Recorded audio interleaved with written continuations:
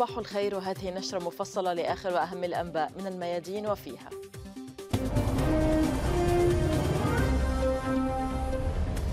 من الله أكبر! جيش الاحتلال يعترف بخسائر جديدة في معارك جنوب قطاع غزة وشماله وقصف مستمر على خان يونس وسط اشتباكات ضارية.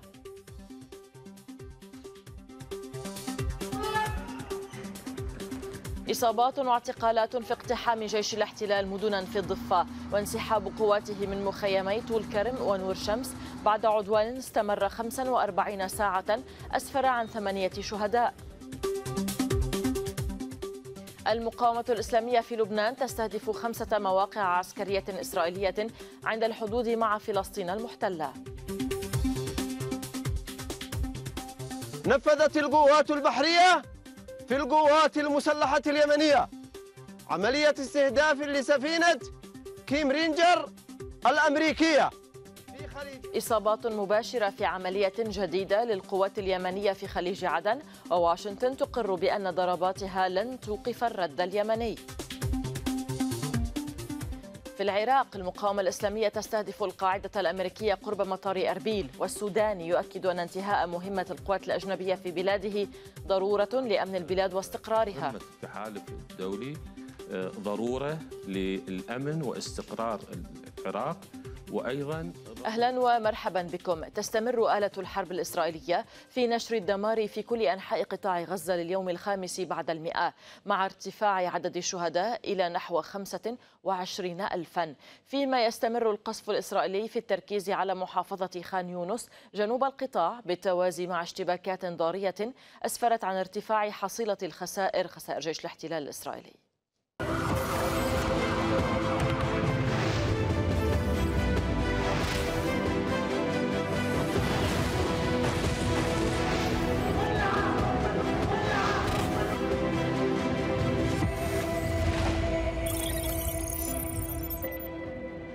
تصدى مقاومون فلسطينيون لقوات الاحتلال الإسرائيلي غرب مدينة خان يونس جنوب قطاع غزة حيث تدور اشتباكات ضارية مع قوات الاحتلال الإسرائيلي.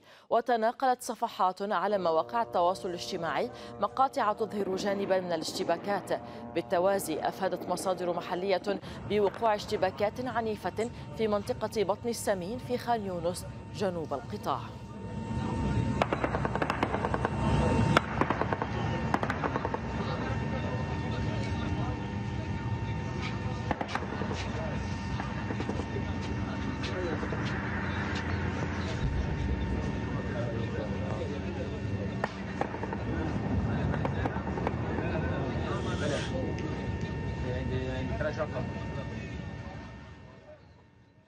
وفي خان يونس أيضا تعرض محيط مستشفى الأمل التابع لجمعية الهلال الأحمر الفلسطيني لقصف مدفعي إسرائيلي عنيف ما أدى إلى تناثر شظايا على مركز إسعاف الجمعية.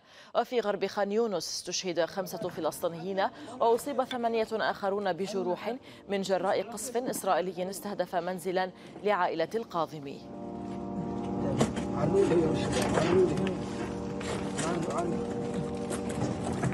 ليش في السية؟ لين حاول تسحب من البنطلون أيوه. عندك يا بابا عرض من عندك طيب عزين قول مقصات عزين. هذا في جيبك يا شباب منها جسم شوي شوي بخف يلا شد من من شوي رمل من هنا يلا والله والله والله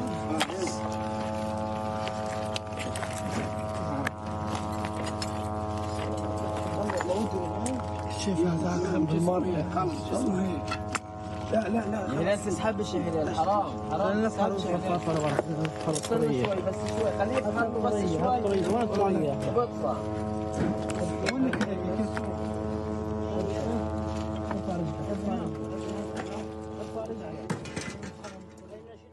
جيش الاحتلال الإسرائيلي اعترف هذا الصباح بمقتل جندي من سرية النخبة في قفعاتي بعد أن أصيب قبل أيام في معركة جنوب قطاع غزة جيش الاحتلال أشار أيضا إلى وقوع ثلاث إصابات خطيرة في صفوف جنوده اثنتان منها في وسط قطاع غزة والثالثة في شماله. وبذلك يرتفع عدد القتلى من الجنود والضباط الإسرائيليين المعترف بهم إلى 529 منذ معركة طوفان الأقصى من بينهم 193 قتلوا منذ بدء التوغل البري.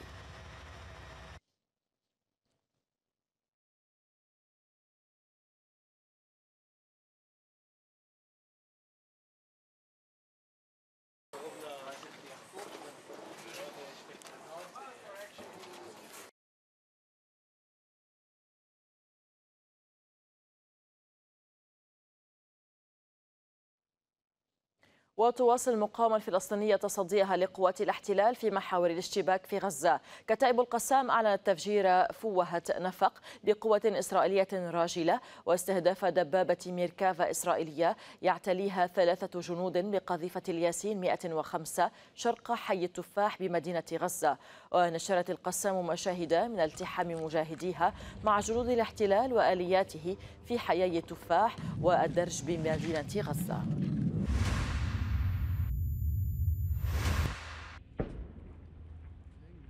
يلا توكل على الله. الله اكبر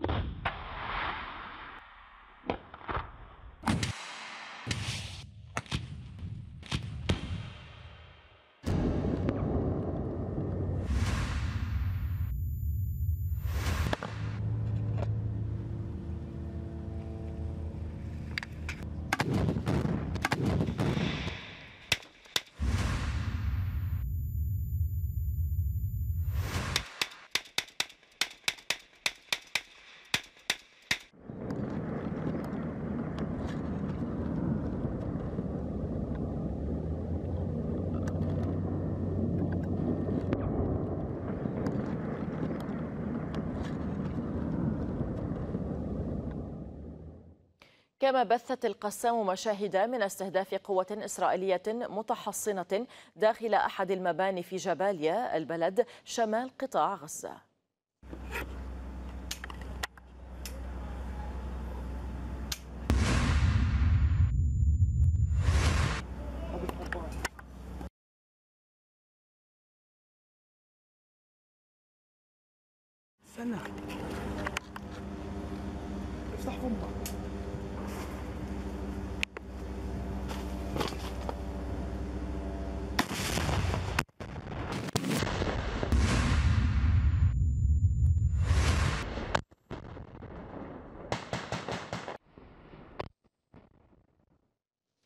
أعلنت وزارة الصحة في غزة ارتقاء ما لا يقل عن 172 شهيدا وإصابة نحو 326 آخرين في 15 مجزرة ارتكبها الاحتلال في القطاع خلال الساعات الماضية. ما يرفع حصيلة العدوان إلى 24620 شهيدا و61830 إصابة.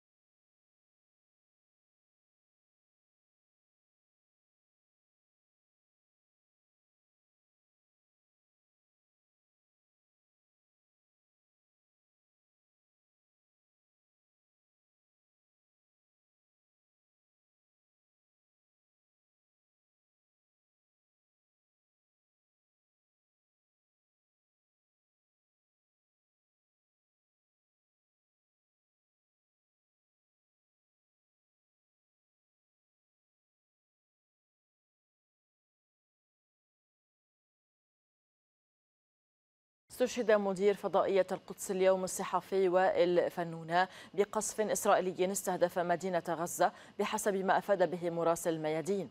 وباستشهاد الزميل فنونة يبلغ عدد الشهداء الصحفيين من جراء العدوان الإسرائيلي المتواصل على قطاع غزة منذ السابع من تشرين الأول أكتوبر الماضي. يبلغ 119 صحفياً. قال المرصد الأورو المتوسطي لحقوق الإنسان إن تصديق الكنيسة الإسرائيلية على تمديد سريان اللوائح التي تحرم معتقلي غزة لقاء محاميهم أربعة أشهر إضافية ما يعني إطفاء غطاء قانوني على جريمة الإخفاء القسري بحق آلاف المعتقلين. وفي بيان حذر المرصد من أن الاستمرار في إخفاء المعتقلين قسرا قد يدلل على حجم التعذيب والعنف الذي يتعرضون له منذ لحظة الاعتقال وخلال الاستجواب والاحتجاز. منطقة أبو هولي الواقعة شمال مدينة خان يونس إحدى المناطق التي خاضت فيها المقاومة الفلسطينية أعنف المعارك مع قوات الاحتلال الإسرائيلي التي دمرت أحياء سكنية كاملة وارتكبت مجازر بحق الأبرياء. مراسلنا أكرم دلول جال في المنطقة وأعد التقرير التالي. نحن هنا في منطقة أبو هولي الواقعة شمال مدينة خان يونس. آه، على هذه الشاكلة دمرت آلة الحرب الإسرائيلية هذه المنطقة. كانت هناك منازل وكذلك مصالح تجارية واقتصادية تعرضت للتدمير بشكل ممنهج من قبل آه، آلة الحرب الإسرائيلية. هذا المكان هو نموذج مصغر لما تفعله قوات الاحتلال الإسرائيلي هنا في قطاع غزة. الدبابات الإسرائيلية آه، يعني وصلت إلى هذه المنطقة وكانت هذه المنطقة واحدة من مسارح الاشتباكات الضارية بين المقاومة الفلسطينية وقوات الاحتلال الإسرائيلي. ما أقول لك كنا نازحين في الدير إحنا. فرجعنا هي أول رجعة والله أول منظر شايف لا في حجر ولا شجر ولا بيت ولا إشي. مش عارف. العالم وين بدها ترجع وين بدها تعيش. مش عارفين إيش نقول والله. يعني ما الكلام بيعجز عن المنظر اللي انت شايفه بعينك أصلا.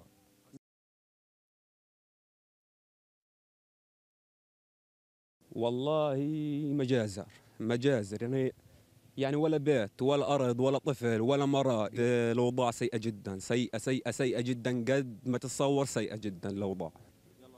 إذا هي إسرائيل كعادتها لا تستقوي إلا على المدنيين العزل. تفشل عادة أمام المقاومة فتصب جام غضبها وعدوانها على عائلات بأكملها. تشير المعطيات إلى أنها تعرضت للإبادة في هذه المناطق. مع العلم أن هناك تأكيدات بأن أطفالا ونساء ما زالوا تحت ركام هذه البنايات التي دمرتها آلة الحرب الإسرائيلية من دون أن تتمكن. حتى الآن سيارات الإسعاف من الوصول لهذه المناطق. أكرم دلول غزة. الميادين. وفي ظل تواصل العدوان على غزة يفاقم ملف الأسرى ذا المقاومة الأزمة السياسية في إسرائيل. عائلات الأسرى نظمت تظاهرة حاشدة في تل أبيب كما قامت بقطع طريق أيالون الرئيسي وطالبت بإبرام صفقة تبادل جديدة لإعادة أبنائها قبل فوات الأوان. وهددت بتوسيع دائرة الاحتجاج للضغط على الحكومة من أجل إغلاق هذا الملف.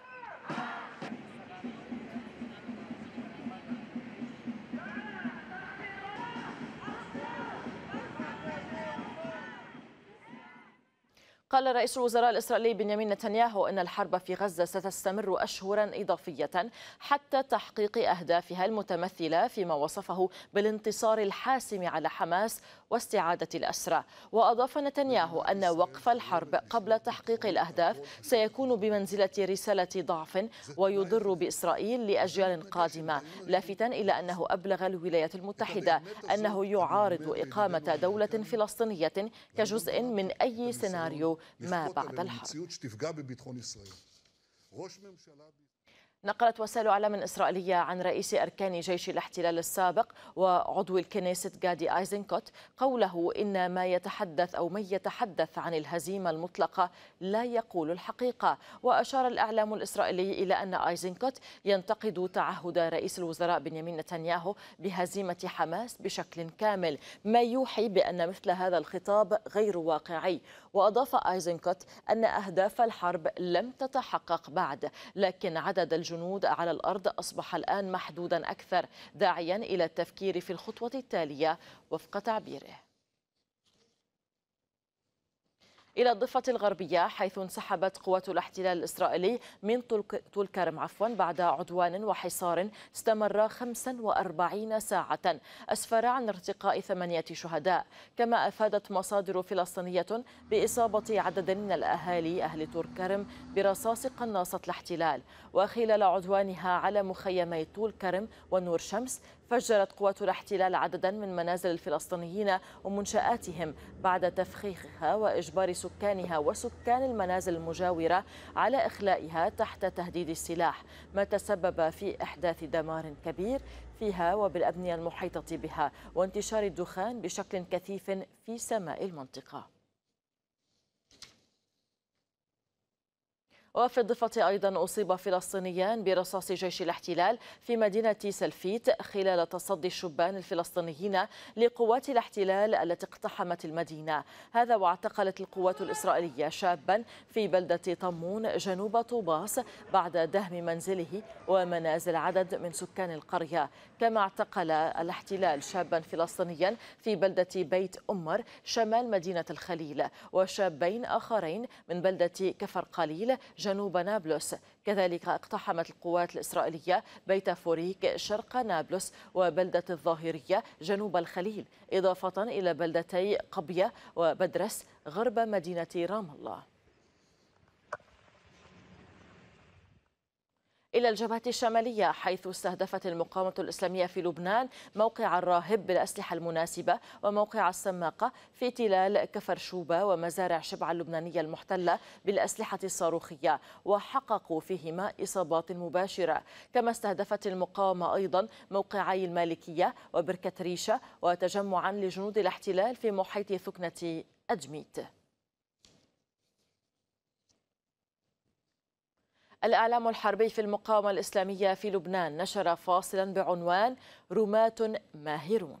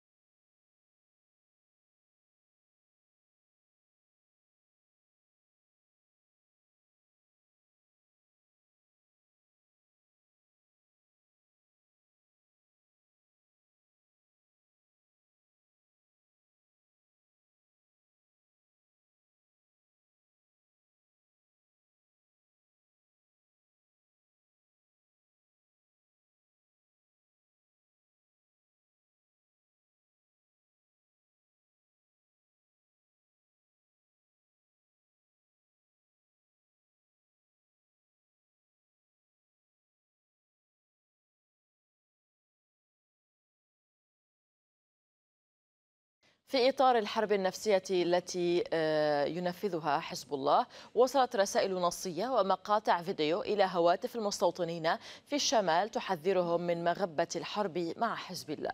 هذه الرسائل تسجل انتقالا إلى مرحلة أوسع في الحرب النفسية. فهل تستطيع إسرائيل تحمل نتائجها؟ نتابع.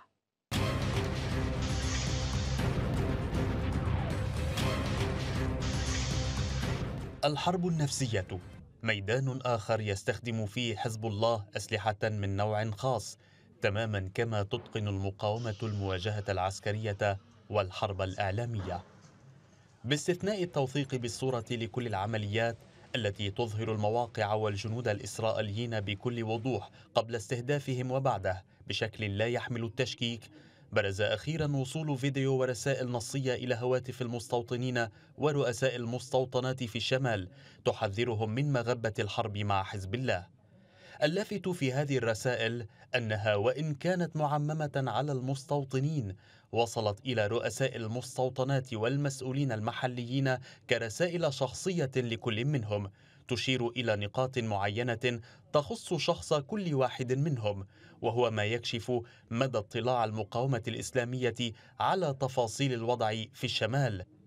الرسائل النصية والمصورة تحث المستوطنين ومسؤوليهم على تجنب الدعوة إلى حرب مع حزب الله حفاظا على أمنهم ومستوطناتهم. وهي تتضمن مشاهد سقوط صواريخ في الشمال مع أصوات صفارات الإنذار ومشاهد حرائق نتيجة سقوط صواريخ. هذه الرسائل التي تسجل انتقالا إلى مرحلة أوسع في الحرب النفسية. تأثيراتها كبيرة وواسعة ولا سيما في ظل غضب المستوطنين على حكومتهم واتهامهم لها بالتخلي عنهم. إفراغ الشمال من مستوطنيه. تسبب بالفعل بخسائر اقتصادية هائلة مع إغلاق الأعمال وبقاء الحقول الزراعية من دون رعاية ما يعرض جداول الإنتاج الزمنية للخطر. عشرات الآلاف الذين فروا من هذه المناطق يرون مع استمرار المواجهة عودتهم أبعد من أي وقت مضى الرسائل الصوتية الأخيرة تؤكد لهم أن اليد الطولة هي للمقاومة وليست للحكومة الإسرائيلية يقول الإعلام الإسرائيلي في هذا الإطار إن جزءا من الحرب هو الحرب النفسية. والأمين العام لحزب الله السيد حسن نصر الله بارع جدا في هذه الحرب. محللون إسرائيليون رأوا في وصول فيديو ورسائل نصية إلى هواتف المستوطنين ورؤساء المستوطنات في الشمال دليلا على أن الحزب مطلع ويعلم جيدا ما يجري هناك. منال إسماعيل. ميدان جديد من ميادين الحرب النفسية بين حزب الله وإسرائيل كشفت عنه وسائل الإعلام الإسرائيلية وقادة مستوطني الشمال في فلسطين المحتلة. في إشارة إلى تلقيهم على هواتفهم رسائل نصية ومصورة تحمل تهديدات لهم وتحثهم على تجنب الدعوة إلى حرب مع حزب الله حفاظا على أمنهم ومستوطناتهم ومصالحهم. هناك قصة غريبة حصلت في الشمال. عدد غير قليل من السكان تلقى رسائل عبر الواتساب والتليجرام من عناصر حزب الله على ما يبدو. تظهر فيها مشاهد سقوط صواريخ في الشمال صفارات إنذار وحرائق نتيجة سقوط صواريخ في مستوطنات الشمال. فيلم دعائي وكتابات أيضا يفترض أن تثير الخوف. في الموازاة وفي خطوة عدها معلقون دليلا على اطلاع حزب الله على ما يجري في الشمال ومعرفته بدقة كل هدف يهاجمه. وصلت رسائل نصية خاصة إلى هواتف رؤساء السلطات المحلية في المستوطنات الشمالية.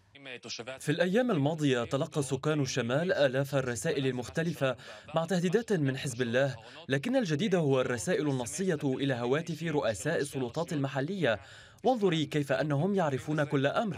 رئيس مستوطنة مارجليوت الذي أصاب صاروخان مزرعة دجاج تابعة له تلقى رسالة تقول له إنه نجا بمعجزة وإنهم لن يفوتوا الهدف في المرة الثالثة. هذا يدل على أنهم يعلمون كل شيء إلى المستوطنات الخالية والمنازل المهجورة في شمال فلسطين المحتلة خوفا من صواريخ حزب الله جاء الفيديو والرسائل النصية اللذان وصفهما محللون بالإرهاب النفسي للمستوطنين ليزيدا من قلق من رحل وخوف من بقي من المستوطنين في الشمال. منال إسماعيل الميادين. أكد المتحدث باسم القوات المسلحة اليمنية العميد يحيى سريع أكد استهداف القوات البحرية السفينة كيم رينجر الأمريكية في خليج عدن وذلك بصواريخ بحرية مناسبة ما أدى إلى إصابتها بشكل مباشر. بعون الله تعالى وانتصارا لمظلومية الشعب الفلسطيني في قطاع غزة وضمن الرد على العدوان الأمريكي البريطاني على بلدنا نفذت القوات البحرية في القوات المسلحة اليمنية. عملية استهداف لسفينة كيم رينجر الأمريكية في خليج عدن وذلك بصواريخ بحرية مناسبة. وكانت الإصابة مباشرة بفضل الله. إن القوات المسلحة اليمنية تؤكد أن الرد على الاعتداءات الأمريكية والبريطانية قادم لا محالة وأن أي اعتداء جديد لن يبقى دون رد وعقاب. إن القوات المسلحة اليمنية تؤكد استمرار حركة الملاحة في البحرين العربي والأحمر إلى كافة الوجهات حول العالم عدا موانئ فلسطين المحتلة وأن منع الملاحة الإسرائيلية المتجهة إلى موانئ فلسطين المحتلة مستمر حتى وقف العدوان ورفع الحصار عن الشعب الفلسطيني في قطاع غزة. إن القوات المسلحة اليمنية مستمرة في تنفيذ إجراءاتها الدفاعية والهجومية ضمن حق الدفاع المشروع عن اليمن العزيز وتأكيدا على استمرار الدعم والإسناد لإخواننا الصامدين في قطاع غزة. والله حسبنا ونعم الوكيل نعم المولى ونعم النصير. عاش اليمن حرا عزيزا مستقلا والنصر لليمن ولكل أحرار الأمة. القيادة المركزية الأمريكية أكدت استهداف القوات اليمنية للسفينة التجارية الأمريكية MV Chem Ranger بصاروخين باليستيين مضادين للسفن. وقالت سنتكوم في بيان إن السفينة ترفع علم جزيرة مارشال وتملكها الولايات المتحدة وتديرها اليونان حيث لاحظ الطاقم ارتطام الصواريخ بالمياه بالقرب من السفينة من دون الإبلاغ عن وقوع إصابات أو أضرار وفق زعم البيان. وكان الجيش الأمريكي قد أعلن إسقاط صاروخين مضادين للسفن تابعين لأنصار الله. كان يجري إعدادهما لإطلاقهما في البحر الأحمر. وفي بيان اعتبرت القيادة المركزية الأمريكية أن ذلك تهديد وشيك لسفن الشحن وسفن البحرية الأمريكية في المنطقة. أكد قائد حركة أنصار الله عبد الملك الحوثي أن التصنيفات الأمريكية لن تقلق اليمنيين ولن تؤثر في الموقف اليمني إزاء الدعم والإسناد لطوفان الأقصى مشيرا إلى أن الولايات المتحدة آخر من يحق له تصنيف الآخرين بالإرهاب. ألم يبتدئ هو بالعدوان المباشر على شعبنا؟ ثم يأتي هو ليصنف الذين يعتدي عليهم ويظلمهم ويقتل منهم بغير حق يصنفهم بالإرهاب. وهو هو منبع الإجرام والإرهاب والطغيان. الأمريكي أصلا لا يمتلك الأهلية لأن يصنف الآخرين بأي تصنيف. هو في وضعية لا أخلاقية لا إنسانية لا يمتلك شيئا من من القيم. هذه الخطوة هي تأتي في سياق حماية الإجرام الصهيوني فقط. هل يمكن أن نقلق منها حتى لا يترتب عليها غارات وابتدأ بالغارات قبل التصنيف ولذلك ليس هناك ما يمكن أن يقلقنا أو أن يؤثر على موقفنا. السيد الحوثي أشار إلى أن العدوان الأمريكي البريطاني هو ضد الشعب اليمني الذي لا يبدل موقفه المناصر لغزة وأن هذا العدوان سيدفع صنعاء إلى تطوير قدراتها العسكرية. الموقف هو موقف شعبنا والعدوان هو عدوان على شعبنا. والحرب التي تورط فيها الأمريكي والبريطاني هي حرب ضد شعبنا العزيز. هذا العدوان أولا لن يغير من موقف شعبنا والتزامه الإيماني في مناصرة الشعب الفلسطيني وسكان غزة والاستهداف المستمر للسفن المرتبطة بإسرائيل. ولذلك نحن نؤكد للعالم أجمع أن العدوان الأمريكي البريطاني سيسهم أكثر وأكثر كلما استمر في تطوير قدراتنا العسكرية بشكل أفضل.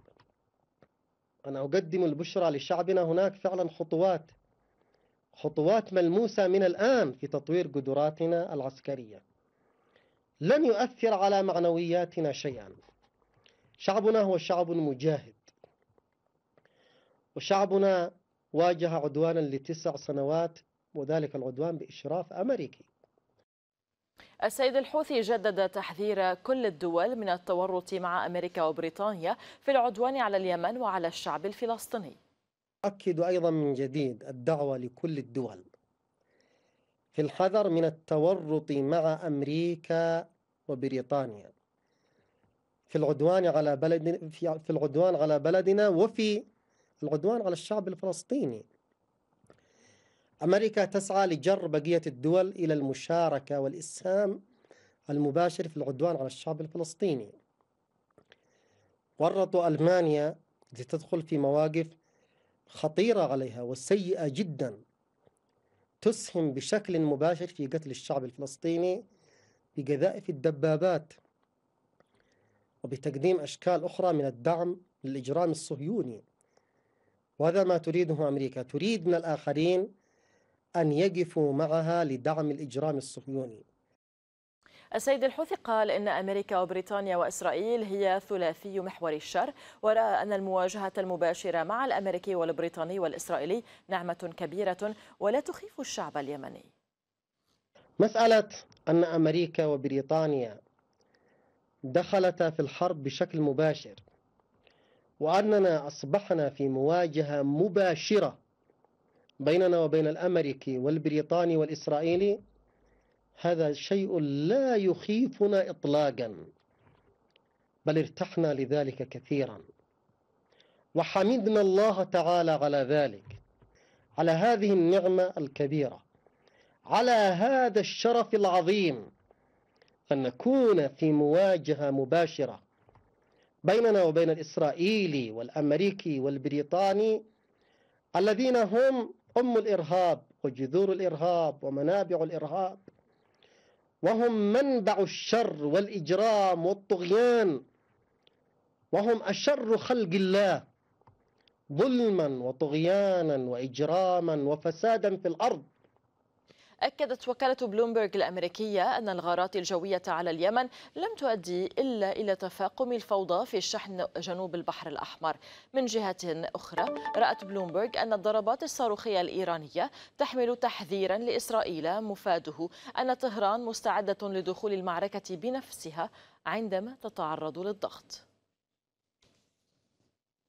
من جهته أكد الرئيس الأمريكي جو بايدن أن الضربات الأمريكية ضد أنصار الله قد لا توقفهم لكن واشنطن مستمرة في تنفيذها. من جهتها اعتبرت نائبة السكرتير الصحفي للبنتاغون سابرينا سينغ أن ما تقوم به واشنطن مع شركائها في البحر الأحمر هو دفاع عن النفس. لا نحن لا نسعى للحرب لا نعتقد أننا في حالة حرب ولا نريد أن نرى حربا إقليمية. أنصار الله هم الذين يواصلون إطلاق صواريخ كروز والصواريخ المضادة للسفن على البحارة الأبرياء وعلى السفن التجارية التي تعبر منطقة تشهد كما تعلمون عشرة إلى خمسة عشر في المئة من التجارة العالمية وإن ما نقوم به مع شركائنا هو الدفاع عن النفس. أعلنت المقاومة الإسلامية في العراق قصف قاعدة أمريكية قرب مطار أربيل شمال العراق بالطائرات المسيرة. المقاومة الإسلامية في العراق أعلنت استهداف قاعدة هيمو الأمريكية التي تقع إلى الغرب من مطار القامشلي في سوريا بواسطة المسيرات واستمرارها في عملياتها حتى وقف العدوان واعدة بمزيد من الضربات نصرة لغزة. من جهة جدد من جهته عفوا جدد رئيس الوزراء العراقي محمد شياع السوداني دعوته إلى رحيل التحالف الدولي ضد داعش من العراق معتبرا في مداخلة له في مؤتمر دافوس الاقتصادي أن انتهاء مهمة هذه القوات الأجنبية ضرورة لأمن البلاد واستقرارها. بدأنا لتنفيذ التزام قدمته الحكومة أمام مجلس النواب عند التصويت على الكابينة الوزارية والبرنامج الوزاري. مفاد هذا الالتزام أن نجري حوار مع التحالف الدولي لترتيب انتهاء آه، هذه المهمة. وهذا ما كان محور آه، زيارة وفد عراقي برئاسة وزير الدفاع إلى واشنطن في آب 2023 والاتفاق الذي حصل بتشكيل لجنة ثنائية للبدء بالحوار وترتيب انسحاب آه، المستشارين الدوليين لكن أحداث 7 أكتوبر أوقفت آه، آه، الاجتماعات التي كان يفترض أن تبدأ. اليوم وبعد التداعيات والاعتداءات التي تحصل على المقرات الأمنية العراقية آه، نحن أمام استحقاق وهو المباشرة فورا للبدء بهذا الحوار للخروج بتفاهم حول ترتيب جدول زمني لانتهاء مهمة المستشارين الدوليين انتهاء آه، مهمة التحالف الدولي آه، ضرورة للأمن واستقرار العراق وأيضا ضرورة للحفاظ على علاقات ثنائية بناءة بين العراق ودول التحالف الدولي. على وقع العدوان على غزة والمستجدات في المنطقة قواعد اشتباك ومعادلات ردع ترسم من جديد. جبهات المشاركة والإسناد تشهد تصاعدا في وتيرة العمليات ونوعيتها ومداها فيما تنخرط الولايات المتحدة بشكل مباشر في المواجهة عبر العدوان على اليمن والاستهدافات في سوريا. فاطمة قاسم. مع تجاوز عداد أيام العدوان على غزة منعطف المئة وما شهدته من محطات من التصدي على مختلف الجبهات. يتحرك المشهد إلى قواعد اشتباك جديدة ومعادلات ردع توافق المستجدات. هنا الأهم هو التوقيت والعنوان والأهداف. الأمريكيون سارعوا إلى إرسال المدمرات للتهديد والتحذير من مغبة فتح جبهات جديدة لمساندة قطاع غزة. بغية الفسح في المجال أمام إسرائيل لارتكاب ما ارتكبته من تدمير وإبادة. محاولة فاشلة لم ترق إلى مستوى التحدي. حزب الله أخذ زمام فتح الجبهة الأولى من جنوب لبنان. التحدي موجه إلى الإدارة الأمريكية ويضرب بتهديداتها عرض الحائط. وما لبثت أن بدأت المقاومة العراقية باستهداف القواعد الأمريكية في سوريا والعراق. ثم شرعت القوات المسلحة اليمنية في رفع السقوف بإرسالها المسيرات والصواريخ إلى ميناء إيلات لتترسخ إثر ذلك معادلة جديدة تمنع بموجبها السفن الإسرائيلية من عبور البحر الأحمر ثم السفن التي تحمل بضائع إلى فلسطين المحتلة. فكانت قوة الردع هذه ذريعة ليتحرك الأمريكيون لتشكيل حلف رفضت مصر والسعودية ودول أوروبية المشاركة فيه. في ضربة قاسية للحسابات الأمريكية تلاها قرار بعدوان أمريكي بريطاني على اليمن. ولا يقل أهمية في هذا السياق كلام وزير الخارجية السعودي في دافوس عندما ربط بين الهجمات في البحر الأحمر والعدوان على غزة ودعا إلى وقف فوري لإطلاق النار. ثقة محور المقاومة بقدرات صنعاء وبيروت وبغداد ودمشق وبالمقاومة في غزة جعل إيران ترفع من منسوب أبعادها الاستراتيجية عبر ضربات صاروخية استهلتها من شمالي العراق باستهداف قاعدة لجهاز الاستخبارات الإسرائيلي الموساد في أربيل. وكذلك على قواعد المتشددين في شمالي سوريا ومناطق حدودية باكستانية في خطوة استباقية لاستهداف مقار تنظيم متشدد. وليس آخر ما أعلنته مصادر للميادين بأن حرس الثورة يقف وراء استهداف السفينتين الإسرائيليتين في الرابع من الشهر الحالي ردا على اغتيال قادة في محور المقاومة. رسالة مفادها أن إيران ليست مردوعة ورفعت بتحركاتها العسكرية الصوت أمام أساطيل أمريكا وقواعدها في المنطقة في ضوء المعلومات التي تحدثت عن رفع أعداد قواتها في سوريا والعراق وهو ما جددت إزاءه الحكومة العراقية التأكيد بضرورة مغادرة قوات التحالف العراق. فاصل قصير ونعود ابقوا معنا.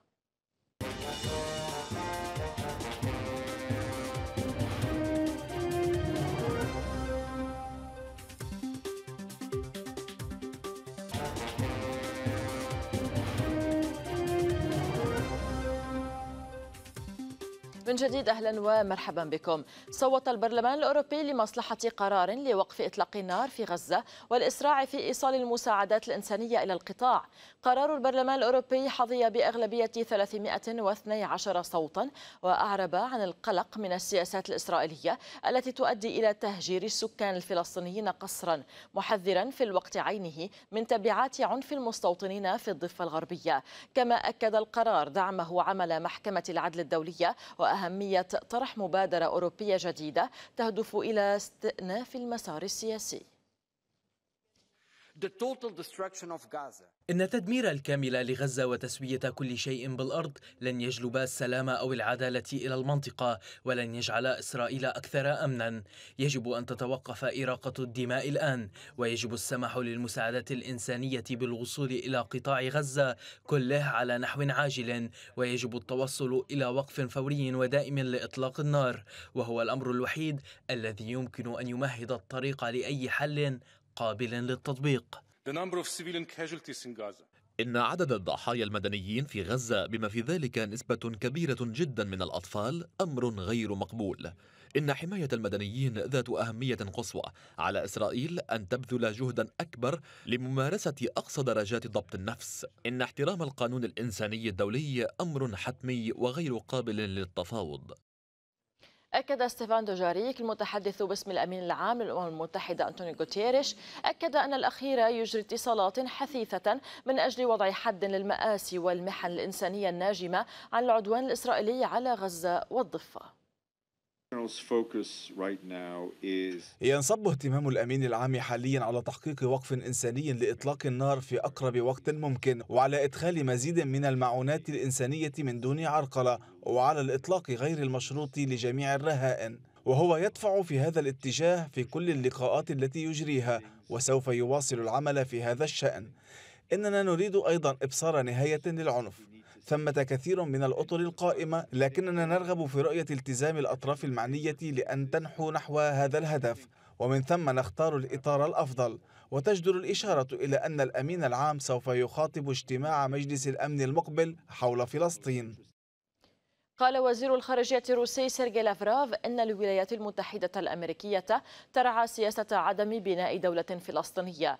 وفي مؤتمر صحفي أكد لافروف أن ذلك يزيد من تهديد الأمن والسلام في الشرق الأوسط. سبعون عاما من وعود الأمم المتحدة ببناء دولة فلسطينية لكن لم تبنى الدولة بعد لا بل حتى الفرصة لبنائها معدومة. وهذه السياسة ترعاها الولايات المتحدة التي تحتكر المبادرات في الشرق الأوسط. وكل تأخر في بناء دولة فلسطينية يزيد من الصعوبات في حفظ الأمن والسلام. ونلاحظ أن بيدون وكلينتون يتحدثون عن بداية العمل لإقامتها لأنهم يعرفون أنه بدون ذلك لا مجال للتهدئة. الأمين العام لحزب البعث العربي الاشتراكي في لبنان علي حجازي كشف في حديث إلى الميادين أن الرئيس السوري بشار الأسد أكد أن بعض الدول العربية أقر بأن الأمريكيين تجار وليسوا حلفاء. ولفت حجازي إلى حماسة مناصرين للحزب لمساندة المقاومة مع الإعلان عن الجناح المسلح. أو مقاربة لدى الرئيس الأسد تقول أن جزء كبير من الدول العربية التي كانت في موقع الخصم لنا تقول اليوم بأننا اكتشفنا كما أنتم اكتشفتم مسبقا أن الأمريكيين ليسوا حلفاء الأمريكيين هم تجار. هذا توصيف بحرفيته. وبالتالي هذا يدلل على أننا نحن مقبلين إلى مرحلة مختلفة. وأريد أن أكشف فضل. أننا في اللحظة التي أعلنا فيها عن جناح مسلح اسمه قوات البعث مش فقط رفاق لبنانيين حتى رفاق سوريين موجودين في لبنان البعض يعتقد أنهم ابتعدوا عن القضية الفلسطينية أو نجحوا في إبعادهم ربطا بالحرب في سوريا كانوا متحمسين إلى أن يكونوا جزء من هذه القوات وأن يحضروا في جنوب لبنان إلى جانب المقاومة يعني الأمين العام لحركة الشعب في تونس زهير المغزاوي رأى أن اليوم التالي للحرب لا يهم غزة فقط بل يهم الإنسانية كلها. وانتقد المغزاوي أو المغراوي عفوا انتقد في مقابلة مع الميادين النخباء العربية التي لا تقيم وزنا للأمن القومي العربي. نحن ابتلينا بنخبة لم تعد ترى أهمية للأمن القومي العربي. هذه نخبة تعتقد أنها يعني بعيدة عن هذه المعركة وبعيدة عن نيران العدو الصهيوني. على فكرة هذا العدو الصهيوني قصف في تونس قصف سنة 85 في تونس قتل قادة من قادة المقاومة في تونس قتل الشهيد محمد الزواري في تونس. هذا العدو كان يتداه طويلة ويصل إلى كل عاصمة من العواصم العربية. لا أعتقد أن اليوم أي حاكم غربي أي زعيم من زعماء الغرب قادر أن يتحدث عن الديمقراطية وحقوق الإنسان وهم يمنعون الناس حتى من التظاهر وهم يمنعون الناس حتى من التعبير عن آرائها وهم يمنعون الناس حتى من نشر فيديوهات على الفيسبوك وعلى مواقع التواصل الاجتماعي. ما أهمية ودلالات ما كشفته مصادر خاصة للميادين عن استهداف حرس الثورة في إيران السفينتين الإسرائيليتين في الرابع من الشهر الحالي؟ نتابع في التقرير الآتي لأحمد البحراني.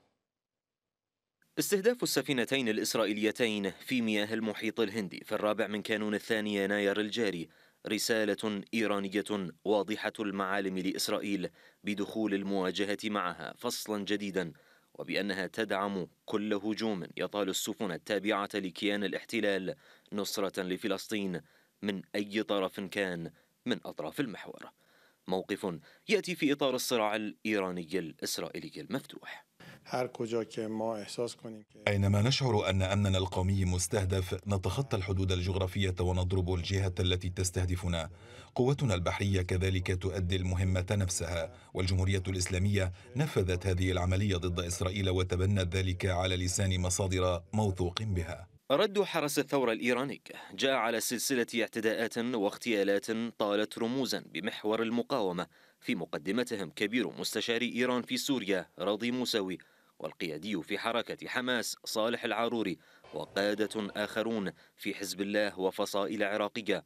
فالقاسم المشترك بينهم أنهم من رموز المقاومة والمقاومة ملتزمة بوحدة الساحات والجبهات وبالانتقام لدماء شهداء غزة. هي رسالة واضحة للكيان الصهيوني بأنه إيران حاضرة في هذه الجبهة. لا يمكن للعدو الصهيوني أن يستمر في هذا العدوان. العملية الإيرانية تأتي في إطار دعم الشعب الفلسطيني بمواجهة يعني آه، هذه الإجراءات الإسرائيلية. هي ليست الأولى ولن تكون الأخيرة. هدفها وفق الرؤية الإيرانية إرباك حسابات إسرائيل والولايات المتحدة. طالما العدوان على غزة مستمر. يتخذ الصراع الإسرائيلي الإيراني مسارا تصاعديا مع امتداد المواجهة إلى البحار. واقع جديد تفرضه الجمهورية الإسلامية إلى جانب معادلة إقليمية جديدة ترسمها المقاومة على امتداد المنطقة. أحمد البحراني طهران الميادين. أطلقت إيران مناورات المدافعون عن سماء الولاية 1402 بدورتها الخامسة للدفاع الجوي وهي مناورات واسعة لقوات الدفاع الجوي على طول الساحل الجنوبي. المتحدث باسم المناورات العميد قادر رحيم زادة قال إن التدريبات تجري بمشاركة منظومات دفاعية جديدة ووحدات مختارة من الجيش الإيراني وحرس الثورة الإسلامية وستقام على مساحة 600 كيلومتر تمتد من من عبادان إلى تشابهار لتشمل سواحل الخليج إلى مياه خليج عمان وستشارك فيها عشرات الطائرات المسيرة وطائرات حربية.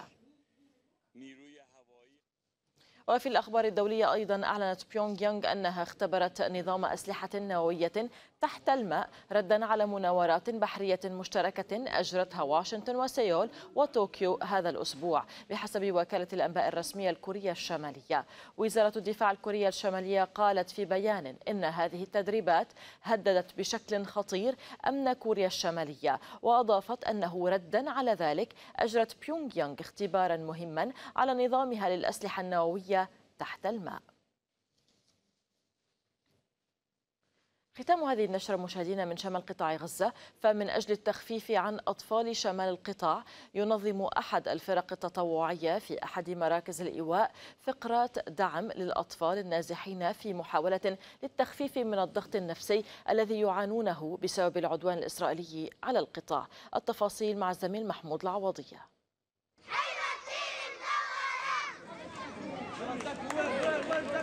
يحاول المهرجون هنا في أحد مراكز الإيواء أن يخرجوا الأطفال من جو الكبت والحرب الذي عاشوه على مدار أكثر من مئة يوم. فالاحتلال الإسرائيلي قتل عوائل هؤلاء الأطفال وحرمهم من آبائهم وأمهاتهم. فهؤلاء الأطفال معظمهم إما أبناء شهداء أو أبناء أسرى. اعتقلهم الاحتلال الإسرائيلي من هذه المدرسة.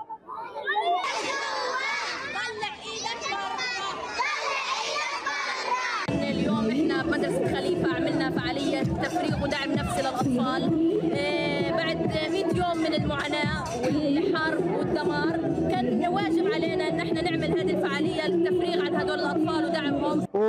وخرج الأطفال من بيئة الحرب إلى بيئة الرفاهية والاطمئنان لأنه هذا الطفل آه، بناء على الحرب وبناء على التدمير وبناء على بصير فهو بصير عنده تبول لا ارادي بصير في الليل يعني يقفز من النوم وبيصحى من النوم. هذا كله سببه الحروب الإسرائيلية والحروب الدائره في هذا المكان. وإحنا بنطلب من الجهات المختصة أو من الجهات المهتمة في الأطفال إنهم يدعموا هيك أطفال. أراد الاحتلال من خلال اقتحامه لتلك المدرسة التي يترفه بها أولئك الأطفال ويفرغ عن أنفسهم بعد مئة يوم من الحرب أن يطفئ الفرحة في عقول وقلوب هذا الجيل. ولكنه سيبقى محافظا على إرثه وإرث أجداده. لا تبالي يا غزة وتحلي بالعزة. وتحدي كل حصار. ساعة كانت كفيلة بأن تنسي هؤلاء الأطفال معاناة أكثر من 100 يوم من العدوان على شمال قطاع غزة. ساعة فرغوا فيها طاقاتهم التي حرمهم منها الاحتلال الإسرائيلي. محمود العوضية شمال غزة الميادين. وفي شمال قطاع غزة أيضا ارتقى سبعة شهداء على الأقل. فجر اليوم بغارة على شقة سكنية قرب مجمع شفاء في مدينة غزة. وأظهرت مقاطع فيديو محاولة إنقاذ محاصرين في شقة سكنية استهدفها الاحتلال في غاراته بجوار مجمع الشفاء.